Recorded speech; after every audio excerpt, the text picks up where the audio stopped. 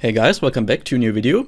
This video will be about how to show different kinds of dialogues to let the user enter some data.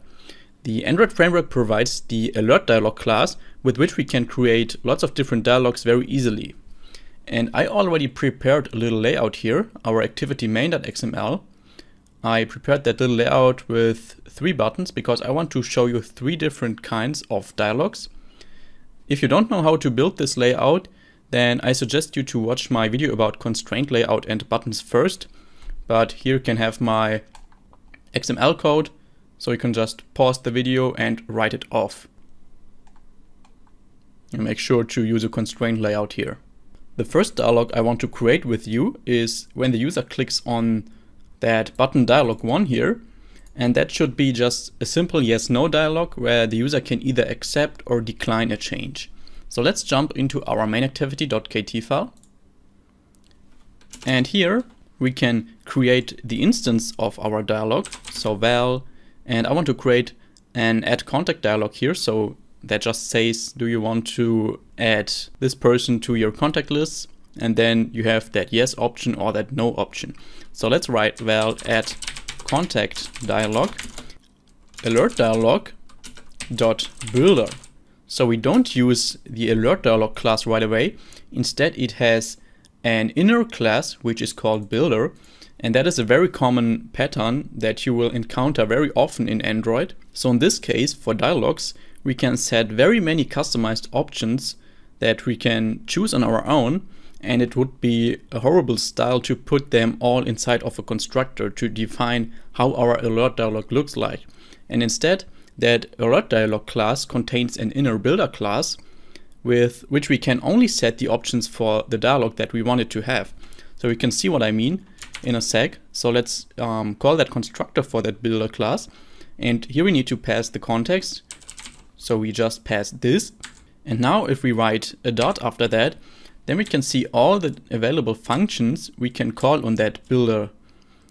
And here you can see there are many, many functions how we can customize our alert dialog. And if you look at the return type of those functions, so for example, it doesn't really matter, each function here um, returns a builder again. So that means because that function returns that builder, we can call each function again on that function. So if you if you write set title, for example, to set the title of our dialog to add contact, then this function here returns such a builder too. So we can write a dot after that again and call all those functions again on that set title function. But let's actually use a new line for each function we call on that builder just for readability. Then let's call the set message function here that is just to display a general message that explains what this dialog is for. So in this case, do you want to add Mr. Poop to your contacts list? The next thing I want to do here is to add an icon to our um, add contact dialog. So let's call the set icon function. And here we need to provide an ID from our drawable folder. So I will use r.drawable.id IC add contact. And that doesn't exist, of course, because we didn't add it. So let's go to your um, drawable folder here, right click, new image asset. And here you can see I already um, used that icon before. If you don't have it like this, then choose IC add contact as a name. Click on that clip art and you can use that search bar to search for person add. And that's the icon I want to use here. But of course you can choose any icon that you want. So select the item icon that you want, click OK, and make sure to select custom as a theme and use black as color for that icon because the background of our alert dialog will be white and this is why I want to set the color of that icon to black so it is visible on a white background. Then click next and finish.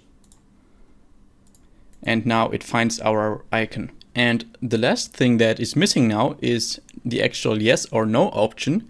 So the user can choose whether he wants to add Mr. Proop to his contacts list or not. To do that, we need to write dot set positive button for the yes button. And here we can um, choose a string that will be displayed. So that is basically the title of that button, which is just yes. And here we need to pass a lambda function. And we need to, that lambda function takes parameters. So if you click at the right starting curly bracket here and press control and space, then we need to implement that dialog interface and I variable here. So just press enter here and you can rename them if you want. I will just leave them like that. We would need that dialog interface parameter if we wanted to access the interface of our dialog. So for example, if we wanted to dismiss that dialog or cancel it, but every time we use that set positive button function, that means it will dismiss the dialog automatically if we click on it. Because dismissing means for dialogs that the dialog's job is done and when the user clicks on yes or no, then we know that the dialog's job is done. On the other hand, canceling a dialog means that the user wants to escape from that dialog without choosing one option. So for example, if he presses a back button or something like that, then we would use the cancel function. So in this case, we don't need that dialog interface parameter and we also don't need that i here, which just which is just an integer that describes which button was clicked. And every time we use a Kotlin Lambda function like this, that takes two parameters here and we don't need those parameters, then we can replace those parameters with an underscore. So just select that parameter and replace it with an underscore here. And the same for i. That code will now be executed whenever the user clicks on that positive button, on that yes button. Then I want to display a toast, so toast.make text, pass this as context, and now we need to um, enter a text for that toast. For example, you added Mr. Poop to your contact list. And toast.length short. And make sure to call dot show after that. And of course we have to do the same for the negative button, for the no button. So let's copy that part where we set the, the positive button here, paste it below, replace set positive button with set negative button, replace yes with no of course, and let's write you didn't add you didn't add Mr. Poop to your contact list. And that's actually it to create that customized dialog. But actually there's one more step we have to do to actually create the real dialog because currently we only created the builder of that dialog because that set negative button um, function also returns a builder and currently that add contact dialog here, that object is a builder too. And to actually create that dialog that actually returns an alert dialog and not a builder, we need to call dot create afterwards. And here you can see that returns an alert dialog. And now we can set an on-click listener to our button dialog one. So to show our first dialog, which we just created. So button dialog one dot set on click listener and inside here, we just need to call add contact dialog, so our just created dialog dot show. Then let's run that app to demonstrate you what happens. So if we now click on dialog one, then this add contact dialog will show, and I think it looks really cool. So here's your icon, then the title add contact, and it says, do you want to add Mr. Proop to your contacts list? And now we can choose either no or yes, so let's choose no and then a toast appears, you didn't add Mr. Proop to your contacts list. If we choose yes here, then it says you added Mr. Proop to your contact list. The next dialog I want to show you is a single choice dialog, which is very similar to radio buttons, just in form of a dialog. So where you have several options to choose from, but you can only choose one of them. For that, we first need to create an array of strings that define the different options. So let's write val options is equal to array of first item. So for the first item, then second item and third item. Then we need an alert dialog builder again. So let's write val single choice dialog is equal to alert dialog dot builder. Pass this for the context again. We can set the title to choose one of these options. And then we can set single choice items, as you can see. And that function is overloaded with very many versions of it. I will choose the version of that function that takes that array as first parameter, which is just our options array. Then the next item is which item should be checked by default. So let's just choose zero for the first item. And now you now we have to add an on click listener again. So in this case, it's actually an on item check listener that is called whenever we check a different item. So let's pass this as a lambda function again. And inside of those curly brackets, press Control space and choose those two variables here, dialog interface and I. So press enter here. I leave the names like that and go inside of that block. Here I will copy that toast from above and just paste it. So I just want to display a toast message here whenever we check another item. And this toast message, message should say you clicked on. And now we can pass our options array at the index options dot and then that index at the index of i. And that i that is passed here as a parameter to our lambda function is the index of the item that was currently checked. So if we want to get the actual item name, then we have to access our options array at the index of i. So if i is 0, then that would mean we just clicked on the zeroth item and options at the index of 0 would just be first item. So it would just show toast, you clicked on first item here. And then we also want to add a positive and negative button to that single choice dialog so we are able to dismiss it. And for that I will just copy what we have above here and I will also copy dot .create and just paste it below here. And of course we can replace those text, for example, the positive button with accept and change the text of that toast to you accepted the single choice dialog and change this to decline and this to you declined the single choice dialog. Then we can add an on-click listener to our button dialog too. And here we want to show that single choice dialog. So single choice dialog dot show. Let's run our app to show you what happens.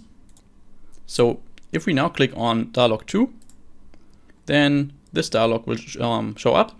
We can choose between those three items. Every time we check another item, it shows a toast. You clicked on second item, you clicked on first item, and you clicked on third item, so that works fine. And if we decline that dialog, then it tells us to decline the single choice dialog. If we accept it, you accepted the single choice dialog. And of course, if there is a single choice dialog, then there's also a multi-choice dialog. For that, I just want to copy that whole single choice dialog because we don't need to make much changes for the multi-choice dialog. Let's rename this to multi-choice dialog. And we can leave the, we can leave it like that. Just replace that set single choice items function here with set multi-choice items. And this takes our options array again for the different options we can check. And those options will now be like checkboxes, so we can check several of them. Now we need to provide a boolean array to determine the initial state of our options, so which options are checked initially and which not. So let's write boolean array of, and because we have three items in our options array here, we also need to add three booleans into that boolean array, and I will leave them all unchecked initially. So let's write false, false, and false. So that just means that the first item is unchecked, the second item is unchecked, and the third item is unchecked. If I wanted to check the, the second item initially, then we would need to replace this false with true, but I want to leave them all unchecked. After that, we have to use that lambda function again. So what happens if we click on one option here? So let's open curly brackets, press Control space to insert those parameters. In this case, there are three parameters the dialog interface, which we don't need here because we have a positive and negative button, which will dismiss that dialog anyway. Then we have that variable i, which refers to the current index of the item that is either checked or unchecked. So we need that variable i. And we have that variable b, which is just a boolean that says whether that item was currently checked or unchecked. So we could also rename this to is checked. So it's actually a little bit more clear what this is for. Then we can go into that block and we can create a toast again. So toast.make text, pass this as context and as a message you checked um, options at the index of i and toast dot length short dot show Oops. And of course, we only want to um, show that toast if we actually checked that option one. So we don't want to show that toast if we unchecked it. And because of that, we need to check um, if is checked. So if is checked is true, then we know that this current item was checked from false to true. And in that case, we want to show that toast. And we could, we could also write an else case here. So if we unchecked an item, then we could also display a toast. But replace this with unchecked. And also rename this single choice dialog to multi-choice dialog. Copy it and paste it below. Finally, we can add that on click listener to our button dialog 3.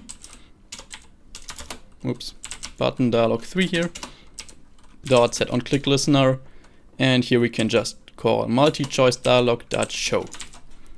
So let's run our app. And if we now click on dialog 3, then that multi-choice dialog will open and you can see those are all checkboxes. We can check several of them. And every time a toast shows up, you check the first item, you check the second item. If we uncheck them, you uncheck second item, you check third item, you uncheck first item, so you get it. And if you click on decline, it says you declined the multi-choice dialog. If you click on accept, you accepted the multi-choice dialog. So I hope this video was helpful for you. If so, please comment below and leave a like. Also, if there's anything I can improve on, then please let me know. That would really help me. Have a good day. See you in the next video. Bye bye.